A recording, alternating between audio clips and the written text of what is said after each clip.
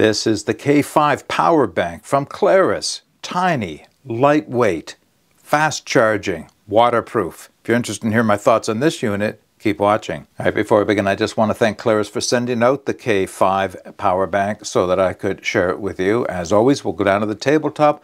I'll go over its key features, its physical and performance specifications, its operation, and then I'll share my experiences with you. All right, just before we take a closer look at the Klarus K5 power bank, let me just share with you what it came with. So this is the box the unit arrived in. Inside of the box, USB Type-C charging cable, and a manual with warranty information. Now, what is missing from mine is a stuff sack, and uh, I'm sure yours will have one if you decide to buy it. Now, I'll put those things aside, bring the power bank back in. I'm going to go through its key features and then go into its physical and performance specifications. So right off at the top, one of the things that stands out for me is that it is IP68 waterproof rated. I mean, that's the highest waterproof rating you can receive for an electronic device, and this is IP68 with an impact resistance of 1.5 meters.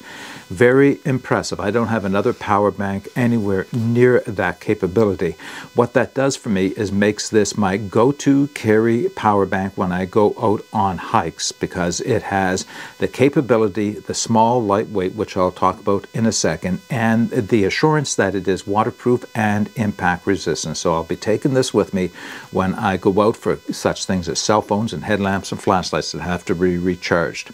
It is a 10,000 milliamp milliamp, milliamp hour battery, and uh, that's also impressive given the size of this thing.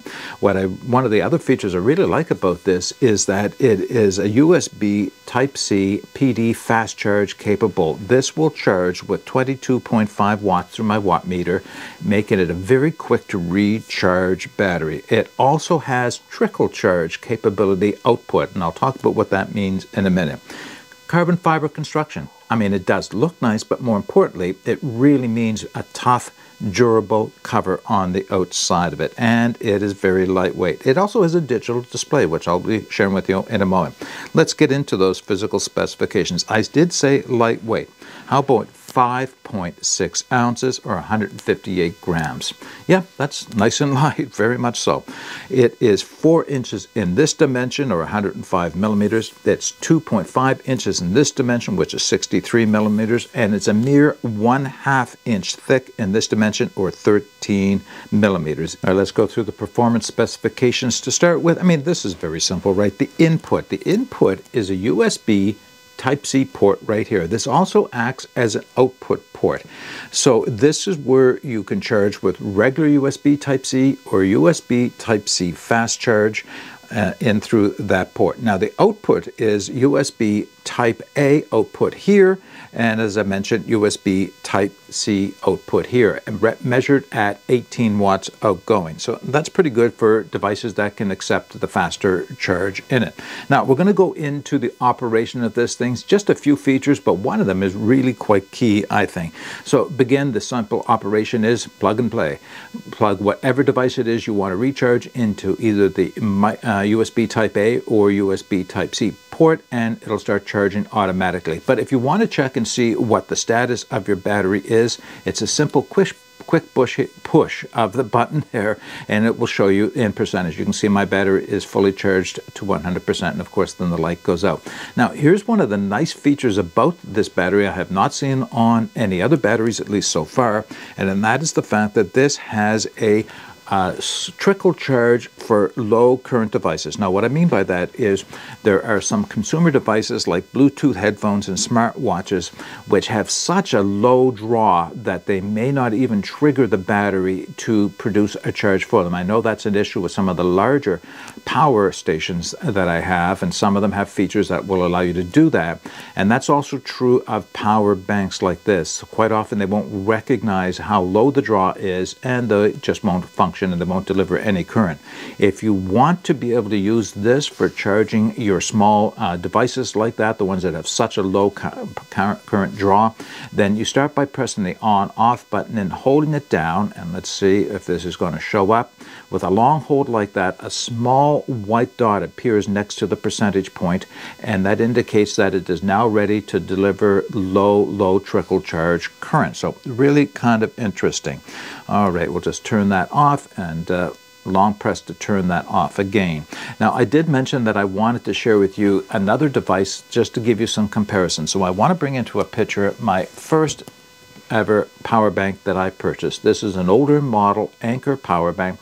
It also is a 10,000 milliamp battery. So just for size comparisons, look, you can see right here, look how thick it is and how long it is and how big it is. Now, this was really, when I bought it, it was state of the art. It was what was current at the time. And it's still a good power bank. It's still something I do use, but it does have some drawbacks, especially when you compare it against a new one like the Klarus uh, K5. Number one is this charges with old school micro USB. It takes a long time to charge this up. It really does.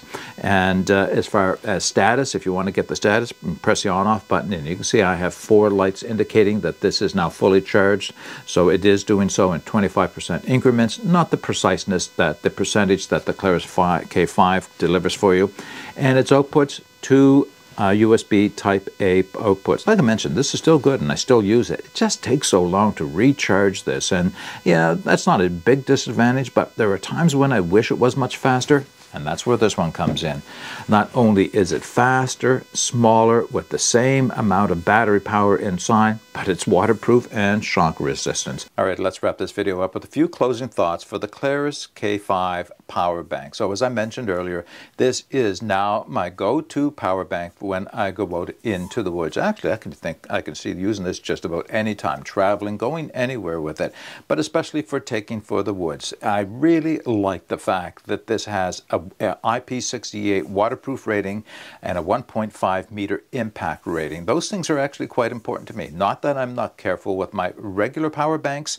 It's just that things can happen. I could easily drop this in the snow or on a rock, and I have some assurances that this is going to withstand and still perform for me. So it is a small, compact size, light in weight, and delivers 10,000 milliamp hours of power. I do have power banks that will deliver a lot more for that, but I don't often have need for that much power. If I feel I'm going to need power to recharge the batteries for my camera as well as my flashlights and cell phone and that type of thing, maybe then I'll take the larger power banks. For the most part, this is the one that I'll be taking with me. Okay, that's all I have to say about this unit. If you have any questions about it or comments, please put it in the comments section below. I will be putting all the specifications and the information where you can take another look at this unit in the video description below. But until next time, get out and explore and take that path less traveled because it will make all the difference.